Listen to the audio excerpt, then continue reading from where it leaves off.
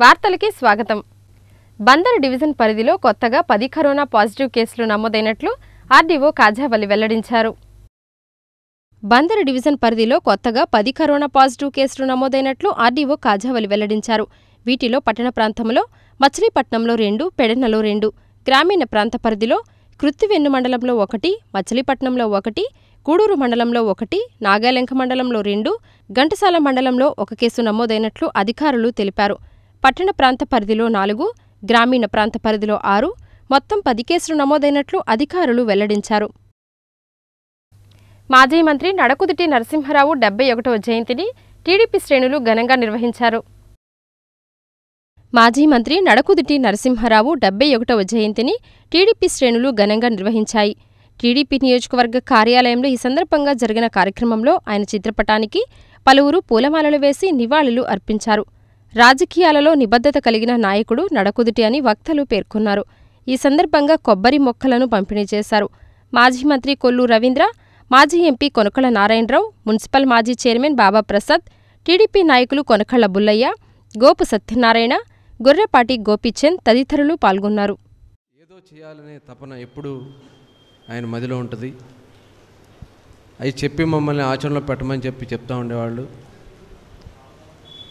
మరి ఒక సామాన్యమైనటువంటి కుటుంబంలో పుట్టి అంచెలంచెలుగా ఎదిగి వ్యాపార రంగంగా కానీ అటు రాజకీయంలో ఆయనకు వచ్చినటువంటి అవకాశాలను అందిపుచ్చుకుని అందులో ఓటమి చెందినా భయపడకుండా అడుగులు ముందుకేస్తూ ముందుకెళ్ళి మంత్రి స్థాయికి వెళ్ళారు. మంత్రిగా ఆయన మచిలీపట్నానికి చేసినటువంటి సేవలు పెద్దలందరూ కూడా చెప్పారు. అటు భారత్ సాల్ ఫ్యాక్టరీ కానీ కేంద్రీయ విద్యాలయం కానీ ఫిషింగ్ హార్బర్ కానీ ఇలా అనేకమైనటువంటి అభివృద్ధి కార్యక్రమాలు ఈ మెయిన్ రోడ్ డబలింగ్ అవ్వడంలో కానీ ఇవన్నీ కూడా ఆ రోజున పెద్ద ఎత్తున ఆయన ఆధ్వర్యంలో చేయటం జరిగింది. ఇదే కాదు రాష్ట్ర మంత్రిగా ఆ రోజు చంద్రబాబు నాయుడు గారు ఆయనకి ఇచ్చినటువంటి బాధ్యతగా బలహీన వర్గాల సంక్షేమ శాఖ ఇస్తే ఆయన ఎక్కడా కూడా ఒక్క అవినీతికి తావు లేకుండా ఎక్కడా కూడా ఆయన మీద మాట మచ్చరానివ్వకుండా ఆ రోజు స్కూల్ యూనిఫామ్స్ మొట్టమొదట బలహీన వర్గాల స్టూడెంట్స్కి స్కూల్ యూనిఫామ్స్ పెట్టింది. ఆ రోజున నడుగుతు నరసింహారావు గారు అనేది ఎప్పుడు కూడా చరిత్రలో నిలబడి ఉంటుంది. అట్లాగే పక్కా గృహ పక్క- హాస్టల్స్ నిర్మాణం చేసే దాంట్లో కానీ అలాగే రెసిడెన్షియల్ స్కూల్స్ తీర ప్రాంతంలో రెసిడెన్షియల్ స్కూల్స్ని ఏర్పాటు చేసే విషయంలో కానీ అలాగే మత్స్యకారులకు ప్రత్యేకంగా రెసిడెన్షియల్ స్కూల్స్ పెట్టే విషయంలో కానీ అనేక రకాలుగా బలహీన వర్గాల సంక్షేమ శాఖ మంత్రిగా కానీ అట్లాగే పక్కా గృహ నిర్మాణం చేసుకునే దాంట్లో మత్స్యకారులకు అదనంగా డబ్బులు ఇప్పించే దాని విషయంలో కానీ అలాగే ఫిషింగ్ చేసుకునే వలలు కానీ పడవలు కానీ ఆ రోజున వైర్లెస్ సెట్స్ కూడా ఇచ్చి వాళ్ళందరికీ కూడా ఫిషింగ్ విషయంలో ఫిషరీస్ మినిస్టర్గా మరి ఆ అవకాశాన్ని కూడా చేయటం జరిగింది. ఇలాగ అనేక వినూత్నమైనటువంటి కార్యక్రమాలని నరసింహారావు గారిలో మనం ఆదర్శనీయంగా తీసుకోవాల్సిన గుణాలు చాలా ఉన్నాయి. ఒక రాజకీయ నాయకుడు అంటే ప్రజలకు అందుబాటులో లేకుండా ఎక్కడో ఆకాశంలో లేకుండా గ్రౌండ్ లెవెల్లో అందరికీ అందుబాటులో ఉంటూ ఒక సామాన్యుడిలాగా ఒక మంత్రి వర్గ మంత్రి అయినా కూడా క్యాబినెట్ మంత్రి అయినా కూడా ఒక సామాన్యుడిలాగా అందరికీ అందుబాటులో ఉండేవాడు. ఆయన దగ్గర గొప్పగా నేర్చుకోవాల్సిన గుణం ఏంటంటే ఆయన కష్టజీవి ఒక పారిశ్రామికవేత్త ఒక ఇండస్ట్రీ పెట్టి అనేక మందికి ఉద్యోగం కల్పించి ఆ ఇండస్ట్రీలో ఉత్పత్తి అయినటువంటి ఆ రైస్ మిల్లు పరికరాలని మార్కెటింగ్ చేయటం కోసం ఆయన తెలంగాణ ఆంధ్ర కాకుండా ఇతర రాష్ట్రాలకు కూడా తిరిగి రైస్ మిల్లులో ర- ఉత్పత్తి దా ధాన్యం నుంచి బియ్యం బియ్యం తయారు చేయటంలో నాణ్యమైన బియ్యం తయారు చేయటంలో ఒక ఒక కొత్త రకమైన మిషనరీని ఆయన తయారు చేసి చాలా పేరు ప్రఖ్యాతులు గడించారు. ఇవన్నీ నేను ఎలా చెప్పగలుగుతానంటే ఆయన నేను కలిసి కొన్ని సందర్భాల్లో కొన్ని రాష్ట్రాల్లో కలిసాం ఆయన మార్కెటింగ్కి వచ్చేవాడు. వచ్చినప్పుడు అనుకోకుండా అక్కడ కలిసేవాళ్ళం. అంటే ఇరవై నాలుగు గంటలు కూడా కష్టపడే బతకాలనే మనస్తత్వం. ఆ కష్టం అదృష్టం రాజకీయం అనేదికి ఆయనకి అదృష్టంగా వరించింది. ఆయన రాజకీయాల్లోకి రావాలని కానీ రాజకీయాల పట్ల ఇంట్రెస్ట్ కానీ ఆయనకేం లేదు. ఆయన కష్టపడి ఫ్యామిలీని పైకి స్వర్గీయ మాజీ మంత్రివర్యులు నడకుదురు నరసింహారావు గారి డెబ్బై ఒకటవ జయంతి సందర్భంగా ఇక్కడ ఇక్కడ ఇచ్చేసిన పార్టీ శ్రేణులకు పెద్దలకు అందరికి కూడా హృదయపూర్వక నమస్కారాలు తెలియజేస్తూ నరసింహారావునయ్యతో ఈ రాజకీయాల్లో రాకృతం నుంచి కూడా మా కుటుంబాలకు సంబంధాలు ఉన్నాయి. ఎందుకంటే వీరి మాంగారు కొలు సుబ్బారావు గారు మా నాన్నగారు స్వర్గీయ కొనకళ్ళ గణపతి గారికి బాగా సన్నిహితుడు. అట్లాగే అక్కడ మా రామచంద్రరావు పెదనాన్నగారు ఉండడు మా అన్నయ్య గారికి నరసింహారావు గారితో చాలా సన్నిహిత సంబంధాలు డెబ్బై ఐదు నుంచే ఉండేవి రాజకీయాల్లోకి వచ్చినా కూడా నిరాడంబరంగా ఉండటం పొలిటీషియన్ అంటే హడావుళ్ళు లేకుండా సింపుల్గా ఉండటం ఏమిటి అనేది ఆయన్ని మంత్రి అయినా కూడా చూడటం జరిగింది. ఆయనకి నిజంగానే కోరుకోకుండానే మంత్రి పదవి వరించింది. ఆయన నేను పొలం కాడంటే ఫోన్ చేసి తమ్ముడు ఇట్లా మంత్రి వచ్చింది నువ్వు రా కలిసి వెళ్దామంటే అందరం కలిసి వెళ్ళాం. ఒక గంట రెండు గంటల లేట్లో ఒక పదిహేను రోజులు వాయిదా కూడా పడింది ఆ రోజున మంత్రివర్గం ఆయన ప్రమాణ స్వీకారం. ఆయన శివప్రసాద్ గారు వీళ్ళందరూ కూడా. ఎప్పుడు కూడా వివాదమైన వాతావరణం ఆయన దగ్గర ఉండేది కాదు. అన్ని వర్గాలు పార్టీలతో సంబంధాలు మెయింటైన్ చేస్తూనే పార్టీ కోసం కింద స్థాయి నుంచి కష్టపడి పార్టీని బలోపేతం చేస్తూ వివాదరహితమైన భాష పాలిటిక్స్లో ఒక్కొక్కసారి కొంతమంది మాట్లాడితే వేడెక్కిపోద్ది. అలా కాకుండా సున్నితమైన భాష అందరూ కూడా ఇష్టపడే భాషనే నరసింహారావు గారు ఉపయోగించాడు మంత్రిగా ఈ ప్రాంత అభివృద్ధి రాజకీయాల్లో ఒక విలక్షణమైన వ్యక్తి నడకుతు నరసింహారావు. ఏనాడు నాకు టిక్కెట్ కావాలని కానీ దానికోసం పాకులాడటం కానీ అరువులు చాచటం కానీ ఎరగని వ్యక్తి. అందరూ కోరుకున్నట్టుగా ప్రతి మంది ప్ర- ఆయన పది మంది కోసం బతికేటువంటి వ్యక్తి. ఆ పది మంది పదిహేను మంది వచ్చి ఏమైనా సరే నువ్వు హైదరాబాద్ వెళ్ళాలి టిక్కెట్ అడగాలంటే వాళ్ళ గోళ పడలేక హైదరాబాద్ వచ్చేసి లాడ్జీలో రూమ్ తీసుకుని అక్కడ పడుకునేవాడు. ఇంటికి వెళ్తే వచ్చేసేవండి అంటారేమో బజార్లో. మరి ఒక సందర్భంలో ఒక సందర్భంలో రూమ్కి వచ్చిన తర్వాత ఎవరితోనో మాట్లాడాం. మాట్లాడితే ఇవి ఏంటయ్యా? ఏంటి నిజంగా వచ్చేసేట్టు ఉందేంటి అని మాట్లాడాడంటే ఎంత ఈజీగా తీసుకున్నాడో పాలిటిక్స్ని. ఒక కొంతమంది అయితే నాకు నాకు తెలుసు రాదని తేలిపోయినప్పుడు మంచం మీద నుంచి పడిపోయారు రాత్రిపూట నిద్రలో. ఆ వ్యక్తులను కూడా చూశాను నేను. కానీ ఈయన పాకులాళ్ళ అదేవిధంగా ఇంకోసారి రవీంద్రకి ఇద్దాం యువత తరఫున నరసింహారావు మీరేం బాధపడొద్దు అంటే ఈయన నవ్వుతాడు. అదేంటి సార్ అది అదేం లేదండి బ భలేవాళ్ళండి. నచ్చ చెప్పడానికి ప్రయత్నం చేశాడు చంద్రబాబు గారు.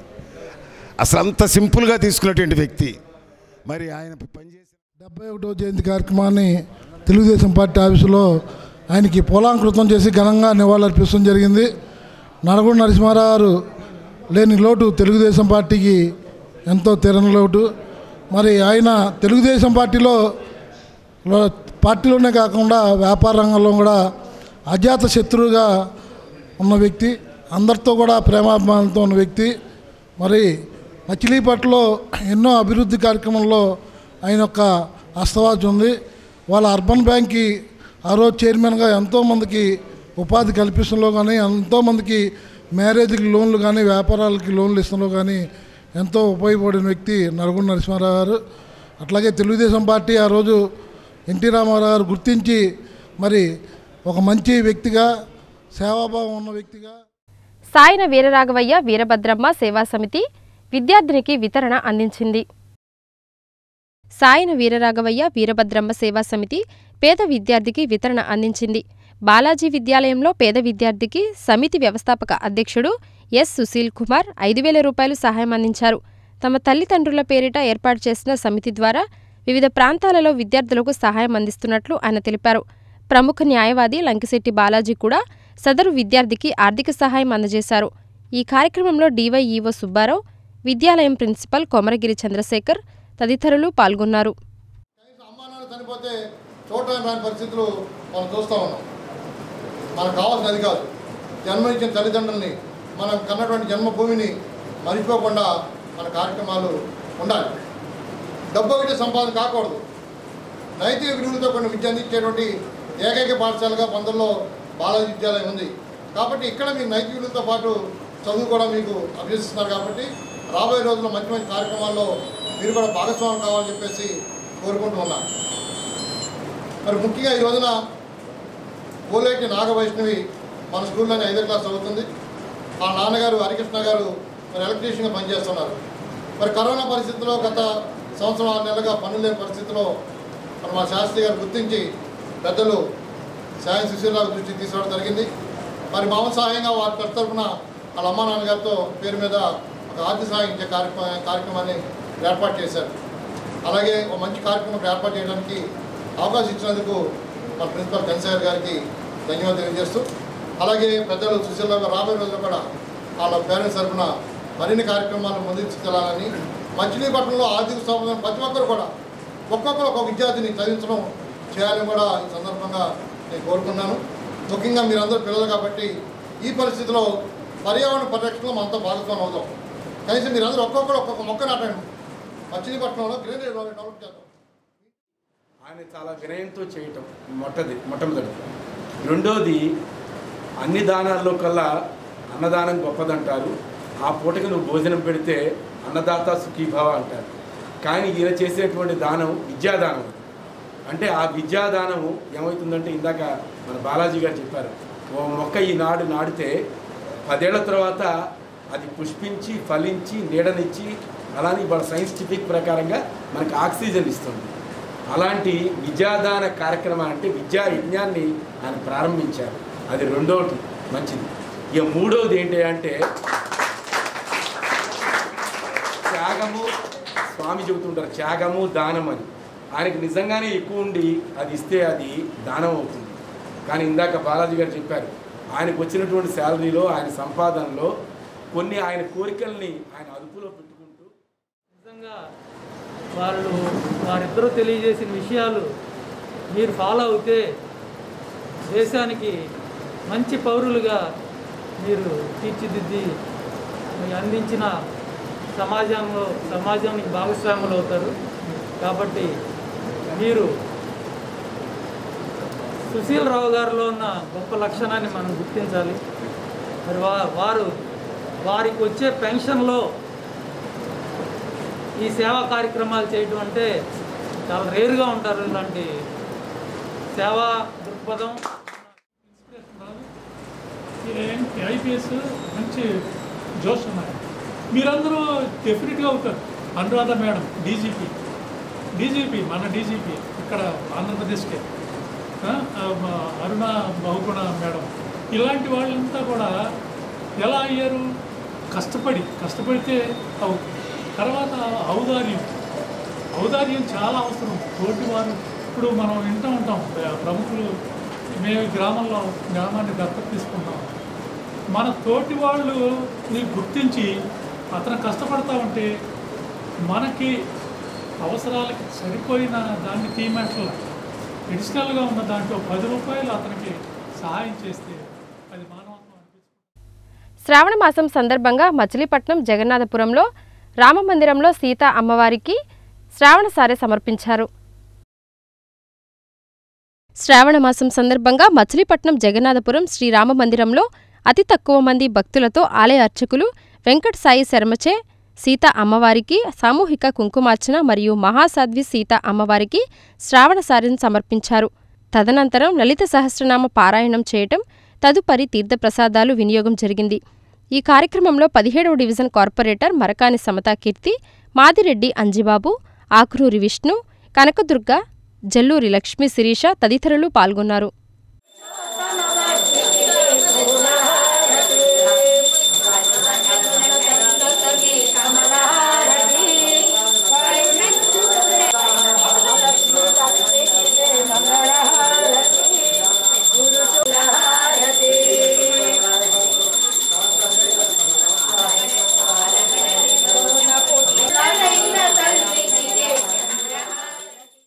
అందరికీ నమస్కారం.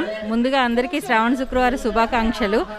శ్రావణ శుక్రవారం వరలక్ష్మి వ్రత పురస్కరించుకొని ఈరోజు పదిహేడవ డివిజన్లో రామ్ మందిరంలో సుహాసినిచే సామూహిక కుంకుమార్చన చేయటం జరిగినది.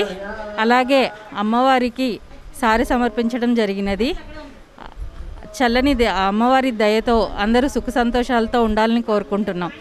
శ్రావణ మాసం సందర్భంగా ఈ రోజున మన మచిలీపట్నం జగన్నాథపురం శ్రీరామ మందిరంలో ప్రతి సంవత్సరం చేసుకునే విధంగానే సామూహిక కుంకుమ అర్చన కార్యక్రమం మన వెంకట సాయి శర్మ గారిచే చేయడం జరిగింది. ఆషాఢంలో మరి సీతామాతకు సారీ ఇవ్వడం అనేది మొట్టమొదటిసారిగా జగన్నాథపురం శ్రీరామ మందిర్ నుంచే మొదలుపెట్టాం.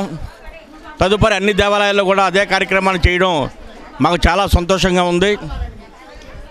కోవిడ్ కోవిడ్ సందర్భంగా మరి మొన్న ఆషాఢ మాసంలో మేము సారీ కార్యక్రమం చేయలేకపోయాం.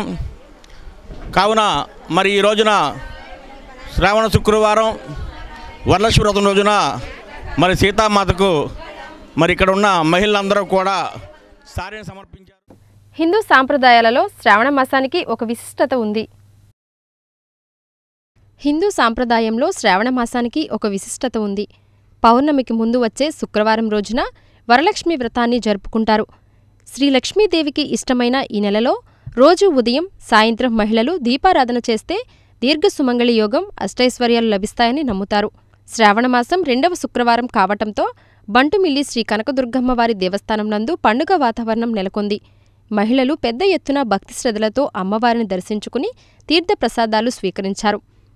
ఈ సందర్భంగా దేవస్థానం చైర్మన్ గరికపాటి కూనరావు మాట్లాడుతూ వరలక్ష్మి వ్రతం సందర్భంగా ఉదయం నుండి ఆలయానికి భక్తులు పోటెత్తారని కోవిడ్ నిబంధనలు పాటిస్తూ సుమారు మూడు వేల మంది అమ్మవారిని దర్శించుకున్నారని ఆయన తెలిపారు. వరాలిచ్చే తల్లి ఆ వరలక్ష్మి. శ్రావణ శుక్రవారం సందర్భంగా తమ ఇంటి వద్ద శ్రీ లక్ష్మీదేవిని వివిధ రకాలుగా అలంకరించి ఇరవై ఒక్క కలశములతో పూజలు నిర్వహించారు. వరలక్ష్మి వ్రతం జరుపుకోవడం వల్ల భర్తలకు ఆరోగ్యం పరిపూర్ణ ఆయుష్ కలుగుతాయని మహిళల విశ్వాసం. గ్రామంలో ఉన్న శ్రీ కనకదుర్గమ్మ వారు ఆలయం వద్ద ఈరోజు రెండవ శుక్రవారం అమ్మవారి ఆలయం వద్ద భారీ ఏర్పాటుతో పూజా కార్యక్రమం జరిగినాయి. ఇప్పటి వరకే సుమారు ఒక మూడు వేల మంది అమ్మవారిని దర్శించుకున్నారు. అందరికీ తీర్థప్రసాదాలు ప్రత్యేక ప్రసాదాలు ఇవ్వబడినాయి.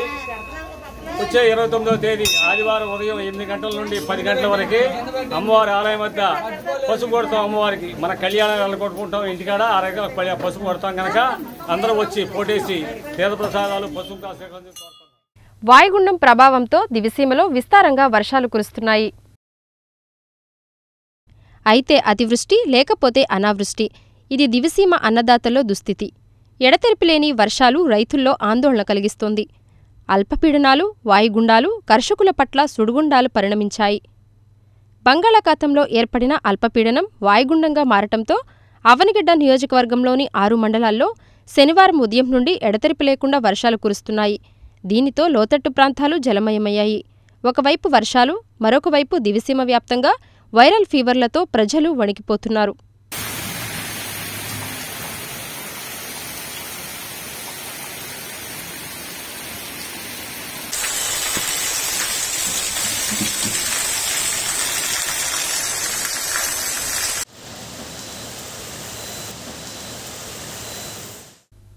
ఈ వార్తలు ఇంతటితో సమాప్తం. నమస్కారం.